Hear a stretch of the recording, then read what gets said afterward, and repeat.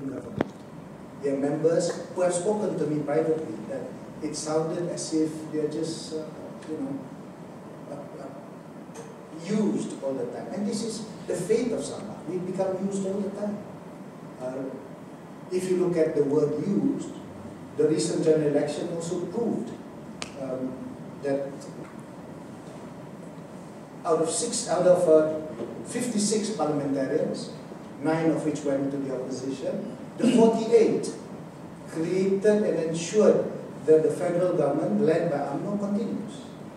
And in that sense, Sabah shaped your future, especially for those in West Malaysia.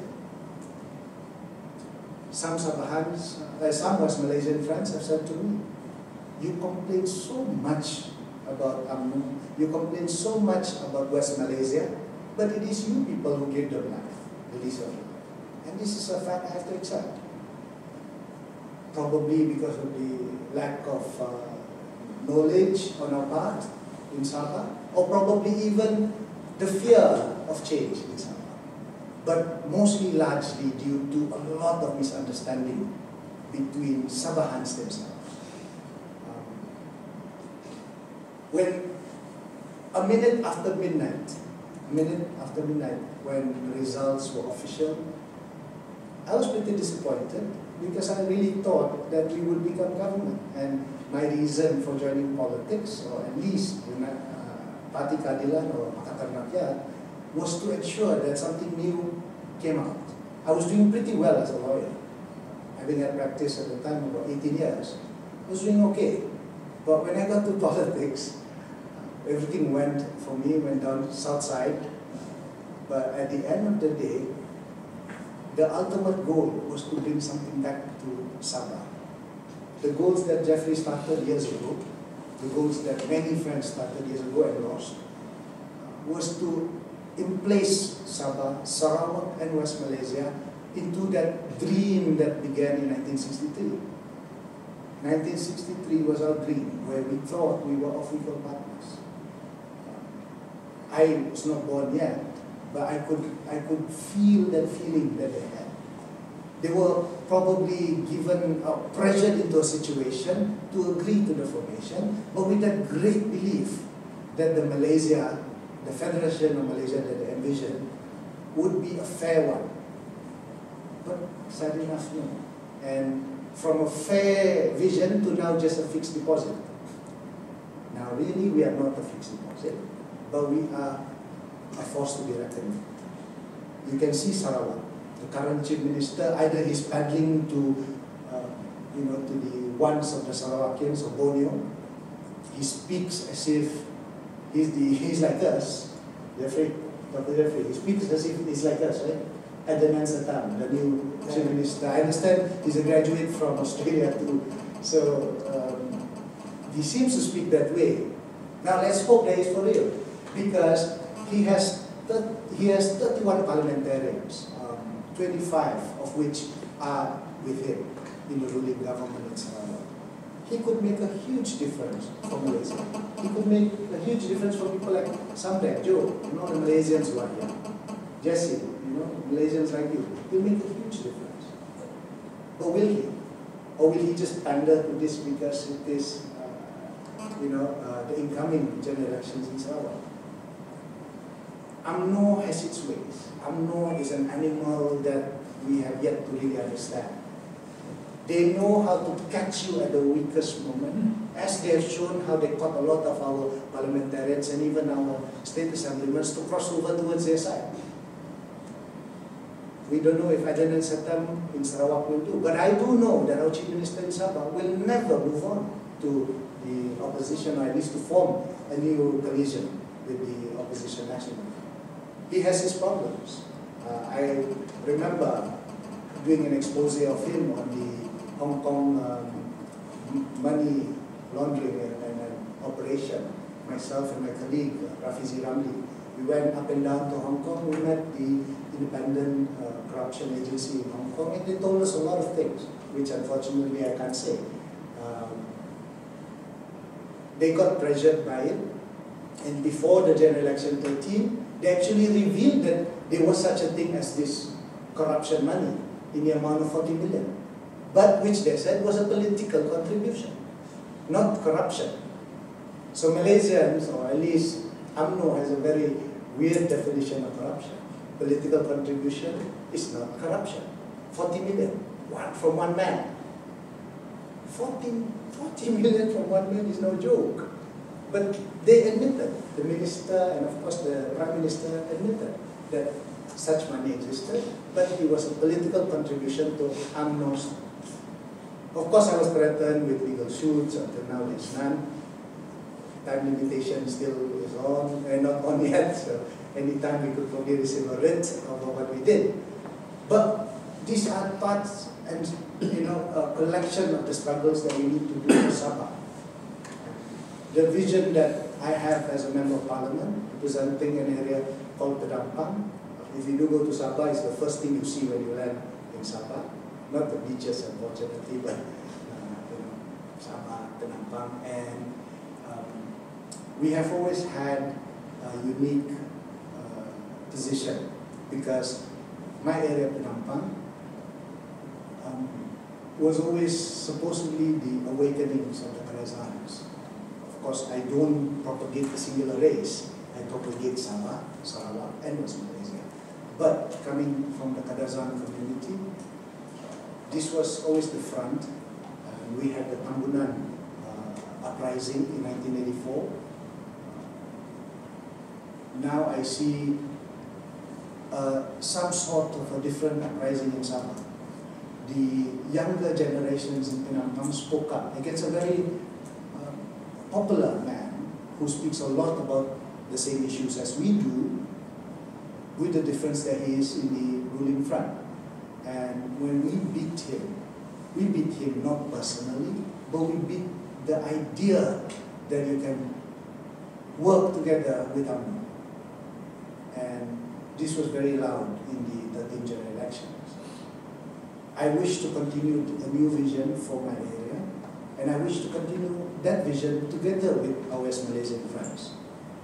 There are a lot of West Malaysians I met who are only becoming aware after years and years of uh, articles, comments, discussions, and debates, which began really from, and I have to say, from Dr. Jeffrey, uh, and you know, continued by a lot of us. And there are West Malaysians talking that same subject that Sabahans are talking.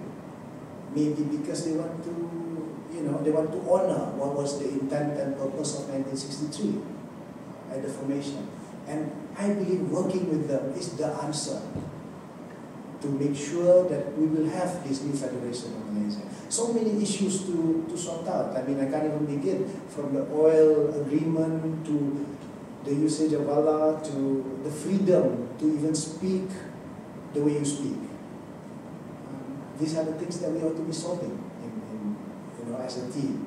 And the West Malaysians I know who are working with me think like that. Hence, in November last year, at the urging, and of course Dr. Jeffrey was disappointed with Keadilan before, but somehow I continued what he wanted, at the urging of many friends, at the strategic uh, discussion that we had, Party Keadilan, under Article 5, adopted to honor the spirit and letter of the Malaysian Agreement 1963. So it's the first political party to adopt a promise to honor what was supposed to be Malaysia or the Federation of Malaysia right, uh, that was envisaged in 1963. It's a commitment now as a political party by Keadilan. Whether or not our West Malaysian friends will comprehend it, I don't know. But 2,000 delegates just put up their hands and agree with what we explain. And that's a beginning. If we can get 2,000 of our delegates to understand the cries, the needs, the wants of Sabahans and even Sarawakians, I bet three years down the road, we will have probably the right side of Malaysia, West Malaysia, they will work with the right side of Sabah and Sarawak.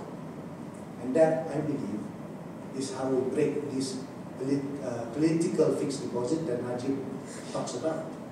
Hence, I wish to reiterate, we are not uh, fixed deposit, but we are forced to be reckoned And I hope you will do your research. I hope that you will conduct uh, your your, you know, your courses or even conduct discussions with your friends that, and encourage them to stand up. We will, we will never reach the way Malaysia should be and Malaysia will always be in this turmoil until you actually honor what began as the Federation of Malaysia.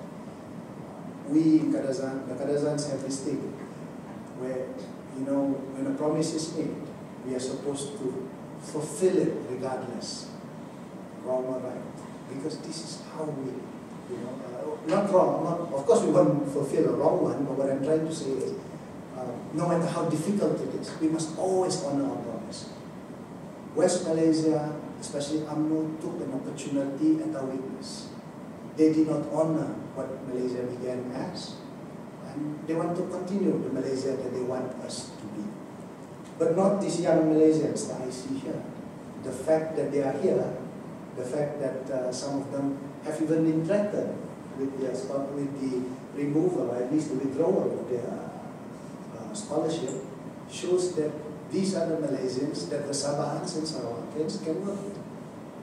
The fact that uh, we have friends who have, you know, have not been back home for a long time but are still here tells you that they're interested. So that solution is so many, so, so many people will have their solutions and, and recommendations and what have you. I will add mine with this because Transformers is going to open this week. Optimus Prime said something very interesting. We must all step up, every one of us. And he said, faith rarely calls upon us at the moment of our choosing.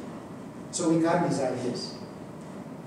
But faith will will bring us to where we should be, but not that opportunity. So come general election 13, 14, that is the way forward. So before I end, I'd like to share something. The, the dictionary I spoke of, which began with Father Tennyson of the Mill Hill House, and given to the people of Sabah by the Canberra, by the government of Australia in Canberra in 1958, was reprinted recently um, as a second edition and I want to give this to the university, especially you guys. You know, um, this is it for you all. You gave it to the people of Sabah. We give it back to the people of Canberra and Australia. You know, Professor, I wish to give this to you. Okay. Dr. Jeffrey mentioned of uh, the 1976 crash. That's another sad relation that Australia and Sabah has. The Nomad aircraft was manufactured by you Australians.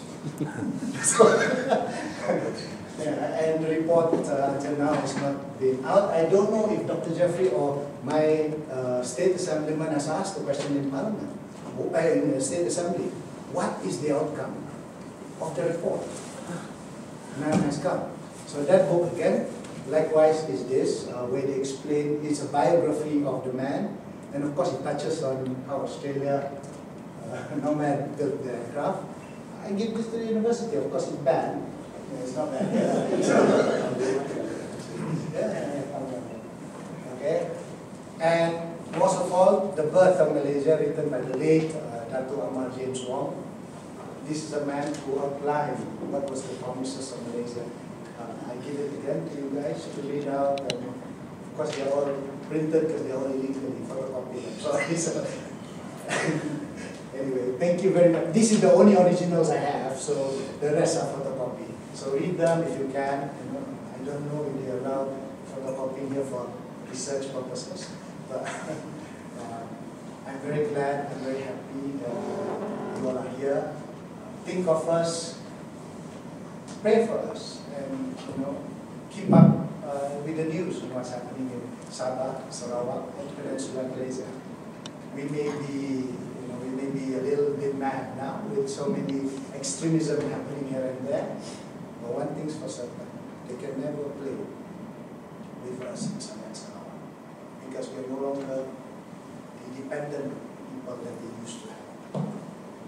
And we are not going to act on this as an oppressed citizen, but we're going to act on this because it is right. Thank you very much.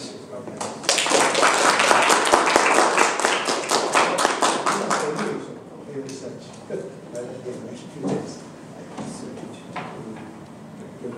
meeting, just over there. Oh, okay. Um, if you could also come across here. We'll sit- sit really back- back. Okay.